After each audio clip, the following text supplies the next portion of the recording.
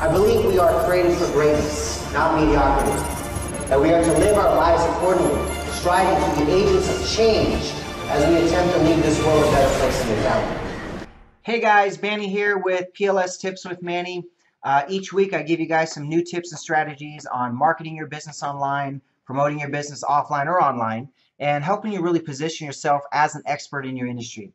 Today we're going to be talking about creating a sales page or lead capture page customized to your own brand with the Power Lead system. How I do it and kind of the things that I kind of utilize to uh, create graphics and you know set up my landing pages, that kind of stuff. So we'll make it real quick because it's actually about 6:21 right now, and it's going to be going live in the next 40 minutes. So I got to finish this video while also getting it converted, edited, and all that stuff. So it's going to be kind of difficult. It might be running a little late. We'll see. So the first thing I do when I log in is I'm going to hover under websites, go to web pages, copy web pages.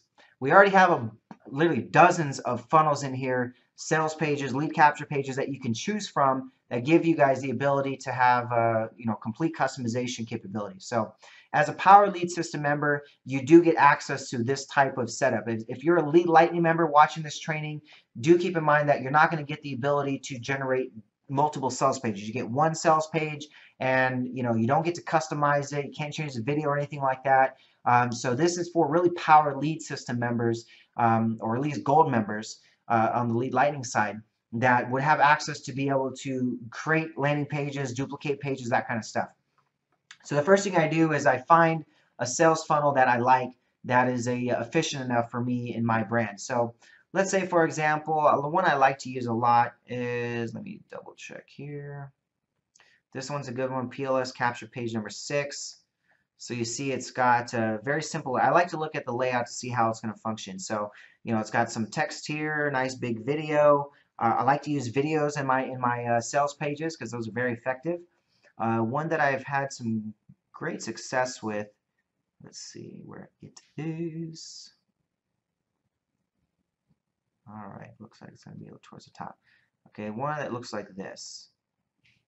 This one's actually a very good sales page for me. I'm I like to have this little opt-in page on the right-hand side. For me, though, I like actually asking for phone numbers. Um, for me, my list is more based on quality at this point than quantity. You know, we have a limited number of emails that we can send out, so I don't want to fill it up with a bunch of just emails that aren't being opened. So I'd rather ask for the phone number, get real serious buyers, uh, obviously, it's not going to be the norm of what people do because a lot of them just want to focus on generating leads. But once you get to a point of over a thousand leads or a few thousand leads, you want to make sure that you're you're capturing quality versus just quantity.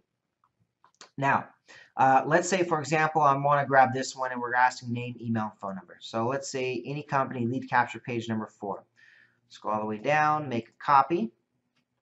First thing I'm going to do is name it let's say test page one, right? This right here is what's going to show up on the top bar at this point, you know, above the uh, the tab. So this one, you know, put what you want there. Um, then I choose my domain, uh, choose a campaign if I want to put an autoresponder campaign to it. Uh, then choose the success page. So if the web page is a survey, where do they go afterwards? So they got a default sales page, they've got another website, description, keywords, all kinds of different stuff. So let's say I just kept that simple there. I uh, just wanted to run a test page to kind of put it together. Uh, then I choose the background. Uh, a lot of different backgrounds. There's always adding a new one, so that's pretty cool. Always, you know, every month or so I'm seeing a new background or two. Uh, but let's say we just keep it the way it is, and we go into edit text. This is where you're allowed to really edit it how you want it. Change the text here, change the text here. One of the things that I've done is put my own customized text and I put those as images. Here's a reason why. When I put an image text, okay, it's text that's formed into an actual image. It's static. It doesn't uh, reformat, so I can make that text the full size of the of the, the, the setup here from left to right, and it's not going to change whether that comes from a mobile device or a desktop computer. The sizing will be exactly the same.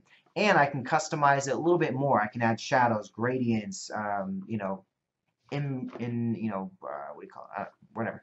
I'll show you an example how I do it. So let's say, for example, I wanted to add this same exact text, but in a different style. I use PowerPoint. So let's open up this here. So let's say I'm going to use that same exact text. first thing I want to get rid of here. This works for really any PowerPoint. So let's say I want to use this exact text here.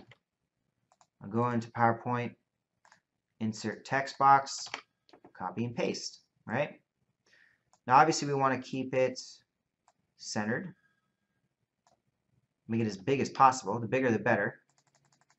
Well, not bigger the better. I mean, to a certain point. You don't want to have it uh, take up a lot of space, but usually if you're just doing text, it's fine.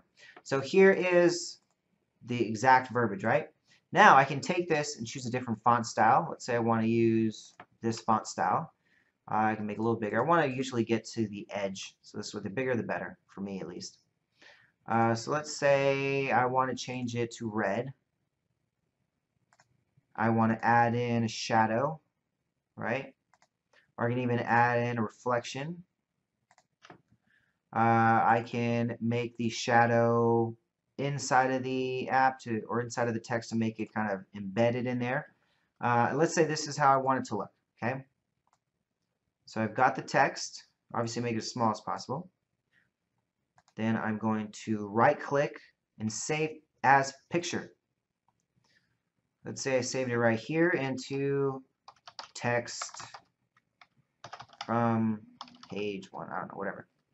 I usually save it as a uh, JPEG because for some reason there's always a back a black background when you try to upload images that are transparent.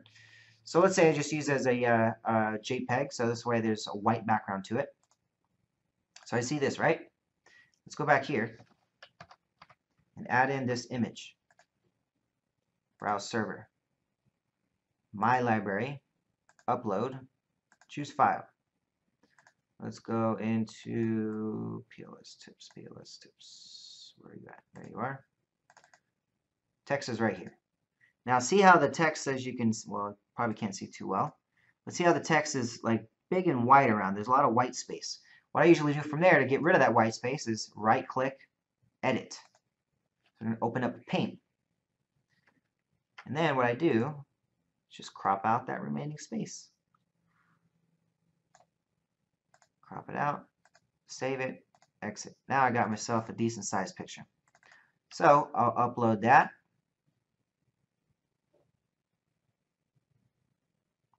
And any second now. Alright, so now that I got this, 950 is probably a little too big. Let's try it at 800.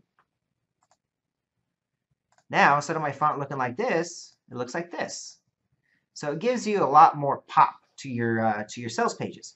So that's uh, kind of the concept of what I do on the text side. Uh, videos are pretty simple to change these. I mean, all you have to do is you double click on this, go back all the way here, and just change out these 11 characters with every YouTube video that you have, right? So if you YouTube video, you just literally put it in there and, uh, and just switch out that 11 characters. Every YouTube video has 11 characters before this question mark uh, at the video or right after the YouTube slash it's going to be 11 weird characters. I, you know, numbers, underscores, letters, that kind of stuff. It's got to be exact, capitalized, lowercase, everything's got to be exact. So just switch out those 11 characters with your own video, and now you got yourself whatever customized video you want. Again, change out the text here. Here's a key when doing a landing page. Okay, the first page they land on, keep it short and keep it simple. Don't put too much content on that first page. Just want to have something very simple right off the bat to grab their attention. Okay. Now if I was going to use that, I would just delete this part. Now I have this as my main text. I can do this one as well.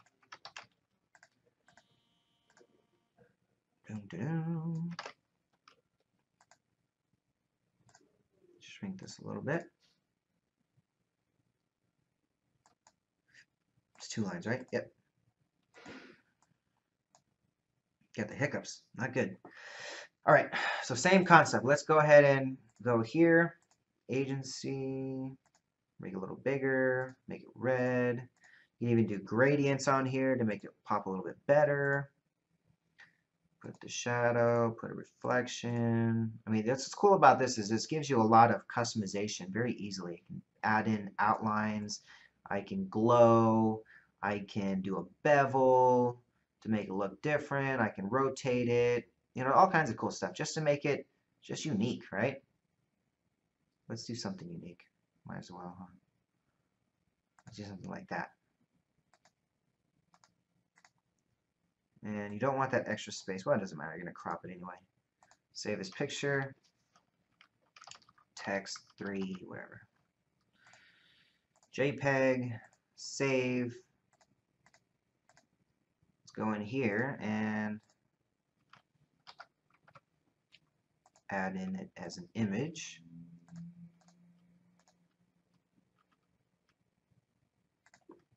We'll crop that again.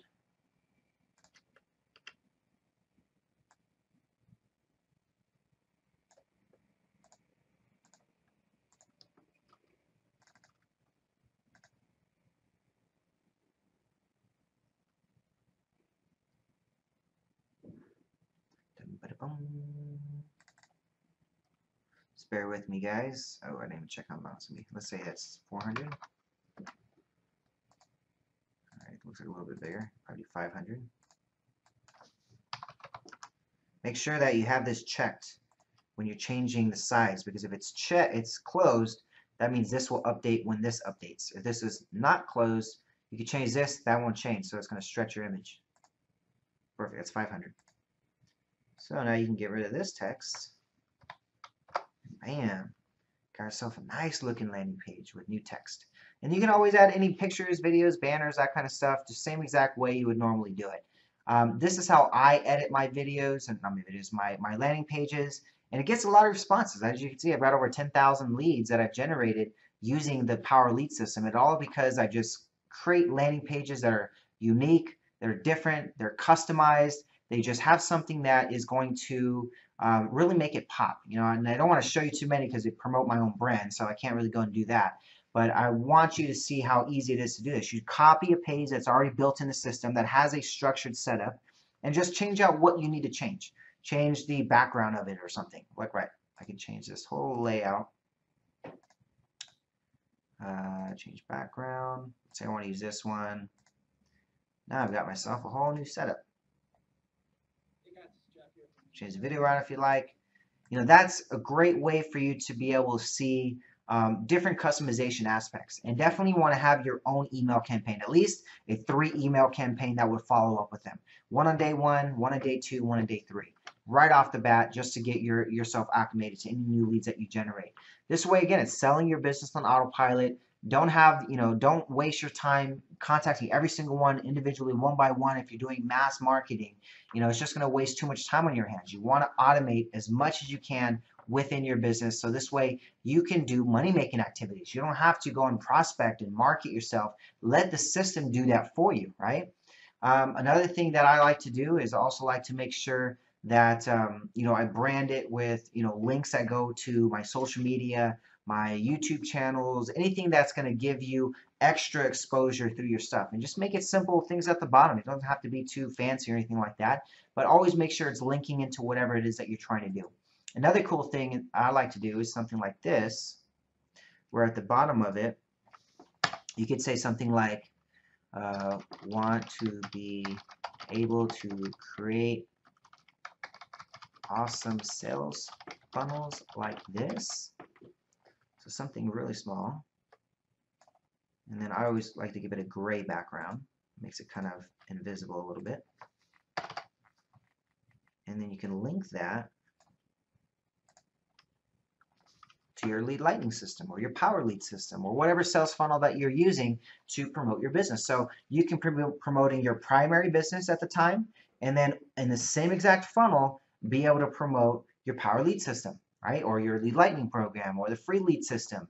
Anything that's going to give you that extra exposure. Because might as well, I mean, you're going to drive traffic to it, might as well get double exposure, right? So you can monetize your app in a lot of different, or app. You can monetize your, your sales funnels in a lot of different ways. Um, customize them any way you would like to. Um, if you have JavaScripts and stuff like that, you can add those into the source codes. There's all kinds of different value that you can bring in with this business model, but the focus is making it simple to start off with, then create another landing page on the back end, the second side, that's going to give you that same branding, but explain more in detail about your business model, the promotion that you guys may be having, anything that's going to give you extra value. Okay, so I'm going to kind of keep it short with that one. I've only got about 20 minutes to get this edited, converted, and everything. So I want to make sure that if you guys have any questions, reach out to me directly. Let me know what it is that you would need some help on and kind of see how you would structure it and see what, what makes sense for you, what makes sense for, you know, what you're doing and how you can generate more business and what you have. So uh, let me know how I can be of any assistance. Uh, I'll be in the Facebook group. I'll be in the chat. You guys can text me anything that you guys would need some help on, some assistance on. Just let me know and let me see if I can be a resource for you and, and point you the right direction. Maybe I've got a how-to video that's already done that. Maybe uh, you know I know somebody in the Power Lead system that could facilitate that need for you or whatnot. So um, let me know what I can do to help. But um, this I think would be the best form of you to be able to start your own structure. You know, utilize very inexpensive programs like PowerPoint and uh, and utilizing that way to just build out text graphics or build out custom graphics. Here's another cool thing that you can do. Let's say um, you have text with other stuff. Let's I want to throw in some stuff here. Let's let's say you want to use this as as uh, just all in one image, right? Let me go and plot this out of the rotation, right? Let's say you wanted to make this one image. What you do is you would highlight this, put the control button, and click on anything else that you want to add into it. So let's say you want to make all this one image. I can go and right click that, save as picture, name it new picture one, right? Or whatever you want to name it. JPEG it. And now it's all one image. Isn't that cool? So you can combine images into an image. So you can create a whole Getty up or whatever and and then just highlight it all and right click save as picture now you got yourself a new picture so that's another tip I would recommend so you guys can really start giving yourself a unique brand out there, make yourself look different, and also not have to worry about it being, you know, mobile formatted or anything like that to where it's going to look exactly the same regardless of the way you pull it up. And you're not going to get any shrinkage of text. So that's what's really going to help you guys out on that end. Um, that's what I use at least. So uh, if you guys have any questions, give me a call. Let me know. Uh, shoot me a text, shoot me an inbox, whatever it is that you guys see fit. Uh, but, uh, you know, let me know how I can be of assistance for you. But, uh, yeah, go ahead and try out some of these techniques. Let me know how they work. Just, you know, building out some of your sales pages and, you know, let me see what they come out with. So um, I'll see you guys next week. And, again, always remember you are too blessed to be stressed. Thank you.